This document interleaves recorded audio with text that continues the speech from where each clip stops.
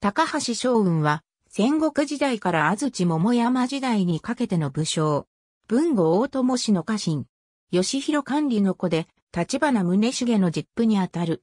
将軍は法名であり、はじめは吉弘陳理、後に大友宗麟の命令で、筑後高橋氏の名跡を継ぎ、高橋陳氏と称した。天文17年、大友義明の重臣、吉弘管理の次男として、武前国家系上に生まれる。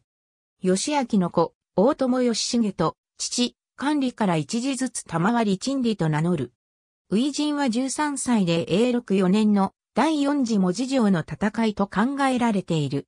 永禄10年、大友氏の家臣であった高橋明氏が、武前国、筑前国、非前国の国人と連携して、謀反を起こした際、当、管理や兄、吉弘重信と共に出陣して武功を挙げた。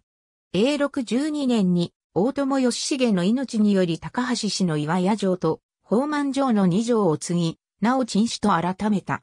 以降は北九州の軍権を任されていた立花同説と共に筑前国を支配することとなる。その後、陳主含む大友の筑前五上昇は、筑前、筑後、肥前、武前の諸勢力と戦を繰り返す天正六年、耳川の戦いで、大友氏は、薩摩国の島津氏に大敗を喫する。この大敗により兄、吉弘重信、義兄、斎藤重実、大友氏重臣の住熊井氏州、佐伯これのり、滝田鎮、州など多数の有力武将が戦死。非全国の龍造寺氏や筑後国の筑紫広門、筑前国の秋月と根ネらが大友領への侵攻を開始した。同年、陳主は反り発して将軍と合している。天正9年、男子のいない同説の度重なる要請により、着男、東虎を同説の娘、千代の婿養子とした。これにより高橋家は、次男、高橋宗益が継ぐこととなる。天正12年の沖田縄手の戦いで、龍造寺高信が討ち死にしたことにより、島津方の圧力が強まる中、将軍は、立花同説や旧毛観光と共に、筑後を守るべく戦っていた。3月、文後国の大友軍は、黒木家長の筑後根工場を攻撃したが、白型の噴戦や竜造寺型の援軍、土池見を前に、戦線は膠着した。8月18日、同説と将軍は、大友義宗の出兵要請を受け、両家合わせて、およそ5000の兵で出陣し、勇ましい強行軍の体制で、敵領地の筑後川や道路が未整備の高取山、美濃連山の後方やつづら折など、山県南所を越え、鉄砲隊で埋伏していた秋月、筑紫、草の星の連合軍を蹴散らし、ただ1日で、筑前から筑後まで15里の工程を走って、8月19日、夕方、猫城の市場、高群城下に到着した。同説は早速上昇、椿原支部を跳躍し、24日に高群城は海上降伏して、土池見も城から逃れ去った。続いて、犬王城の川崎重高も降り、25日には川崎の権現山に陣替えしたが、筑後高良山座す、丹波良館や大堀保身、総崎高直、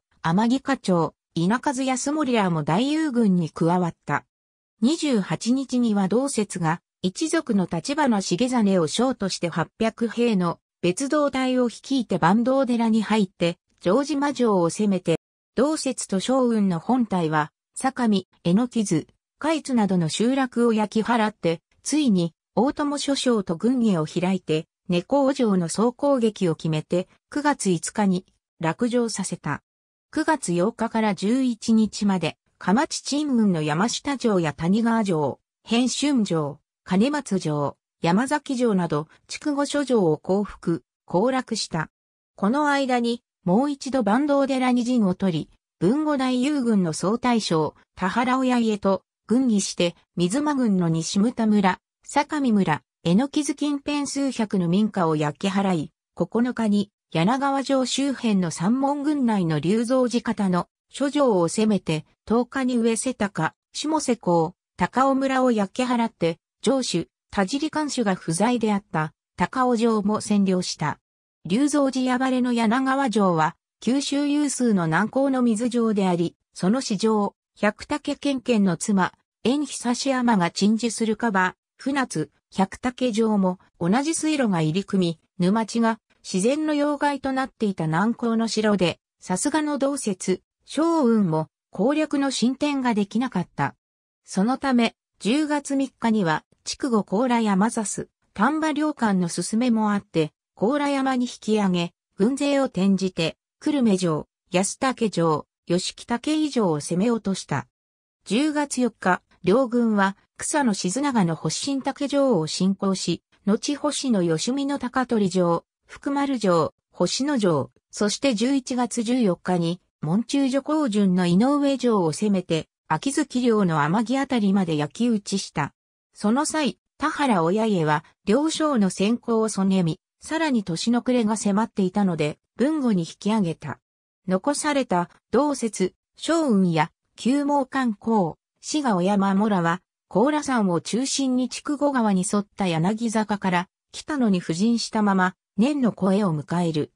天正13年2月上旬から4月23日まで、龍蔵寺聖也、龍蔵寺家春、鍋島直重、後藤家信、筑紫広門、二十歳、草野静長、星野義美、秋月種実、門中女明系、白石重房、長野種信など、肥前、筑前、筑後、武前連合軍およそ3万余の大軍と小森や13部、義、園原などで数々の激戦があったが、同説と小雲、観光、両広白大友軍は9800の劣勢ながら、いずれも見事で、兵法、戦術や兵器、陣形を活用して、しばしば局地戦で敵大軍を撃破したが、後同説は老衰で、発病のため、龍造寺側に決定的な打撃を与えることができなかった。天正13年9月、同説が病没。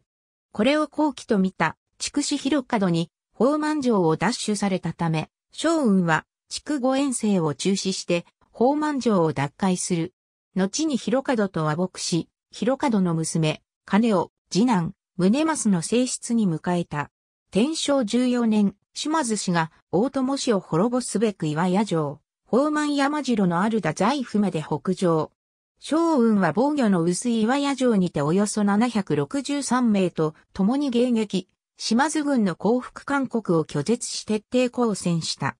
半月に及ぶ戦いの末、敵兵多数を道連れにし玉砕。岩屋城は陥落した。去年39、激戦の様子について、などと記されている。将雲は、たびたびの降伏勧告を拒絶し玉砕したというのが通説だが、当時の島津の記録である、上伊角県日記天正14年7月26日上において、将雲が傘の陣まで出向き退場しないことを条件に講和を持ちかけたとの記録も存在する。高橋将雲の墓と岩屋城の戦いの戦没者慰霊碑、岩屋城、二の丸跡。ありがとうございます。